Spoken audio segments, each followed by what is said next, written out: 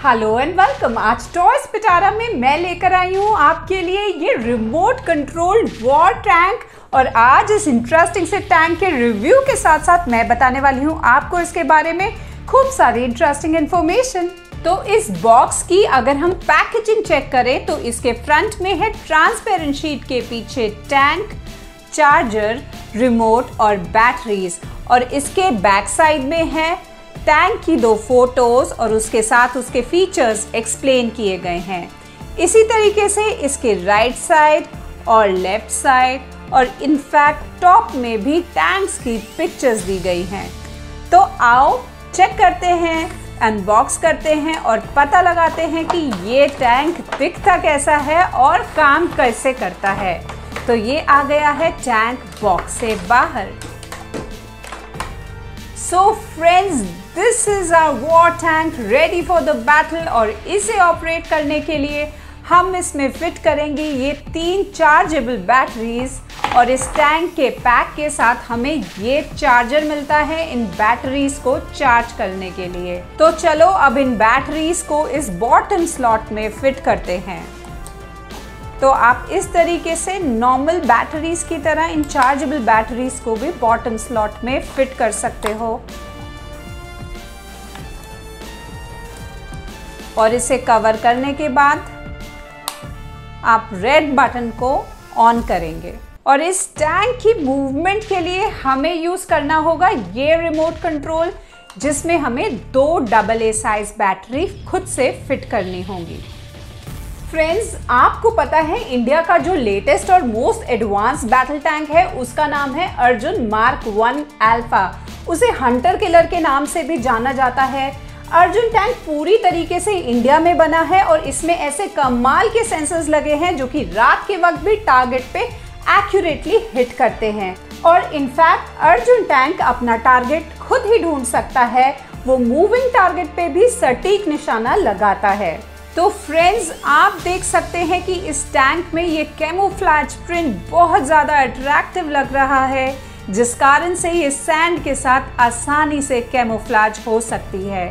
इसके फ्रंट में ये गन में इजी मूवमेंट पॉसिबल है और इसके बॉटम में फोर रबर टायर्स दिए गए हैं। लेकिन इसके लुक को रियल कंप्लीट लुक देने के लिए इसमें मल्टीपल टायर्स दिए गए हैं, जो कि रियल टैंक में होते हैं। तो अब इसके टॉप में इस बटन को प्रेस करके देखते हैं।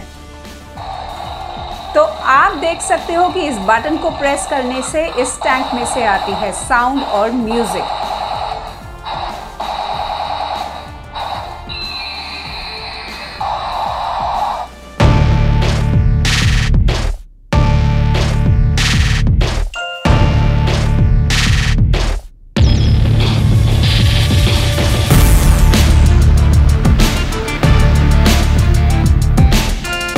फ्रेंड्स आपने फ़िल्मों में देखा होगा कि टैंक का ये टॉप पार्ट 360 डिग्री तक रोटेट करके दुश्मन पर हमला कर सकता है।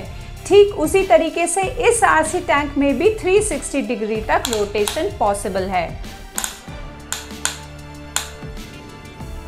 तो फ्रेंड्स आप देख सकते हैं कि इस रिमोट में दिए गए हैं ये लेफ़्ट साइड में फ्रंट और बैक मूवमेंट के लिए बटन और राइट साइड में लेफ़्ट और राइट मूवमेंट के लिए बटन तो अब चेकआउट करते हैं कि इनको प्रेस करने से इसकी इफेक्टिविटी कितनी है.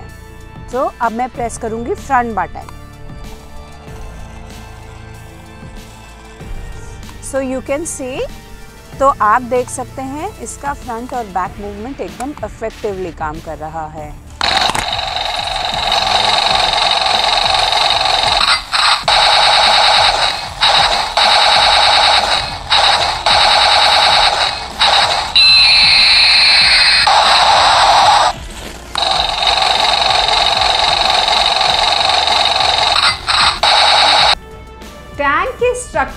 हम समझे तो इसे बेसिकली टू पार्ट्स में डिवाइड किया जा सकता है। ये बॉटम पार्ट को हल कहते हैं और टॉप पार्ट को टरेंट कहा जाता है। ड्राइवर सीट हल में होती है और मशीन गन टरेंट पे फिट होती है। और आपको पता है कि इस टैंक में मल्टीपल टायर्स क्यों होते हैं? उसका रीज़न है कि ये टैंक बहुत ज़्यादा हैवी होता है और इसमें अगर नॉर्मल व्हीकल की तरह टायर्स होंगे तो टैंक ज़मीन में धस जाएगा। इसीलिए इस टैंक के प्रॉपर वेट डिस्ट्रीब्यूशन के लिए मल्टीपल टायर्स लगाए जाते हैं ताकि ये ज़मीन पर आसानी से चल पाए।